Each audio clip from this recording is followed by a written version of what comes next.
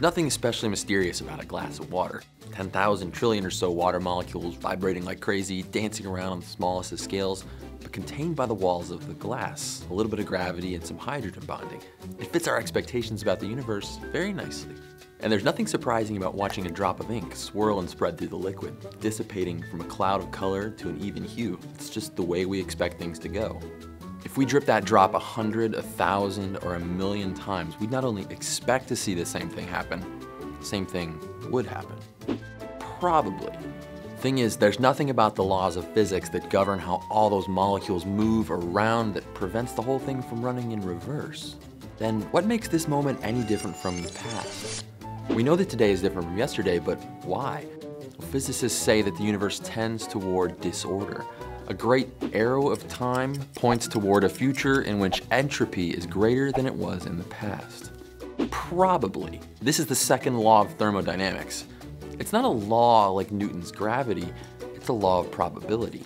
Flip a coin a million times and will you ever get a million heads? No. But could you? Sure. There's no law of mathematics that says it can't happen. There's just so many more ways for it not to happen. We may get 10 heads in a row, or maybe even 100 along the way, but it all evens out over time. That's the reason bombs don't unexplode. It's the reason we have waterfalls and not water ups. The reason today is different from yesterday and tomorrow will be different than today is that since the very beginning, since the Big Bang itself, everything's been getting messier. We know that entropy increases. We know that time moves in one direction probably.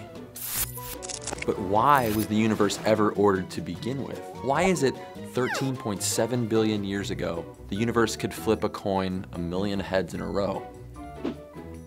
We don't know. It's one of the great unsolved mysteries in physics. When we solve it, we'll finally have an answer for one of the strangest questions in science. It's strange because we already intuitively know the answer. The universe fits our expectations because our expectations were written by the universe. Will we ever solve the mystery of order? Who knows? But tomorrow's another day, different from all the rest and full of surprises. Probably.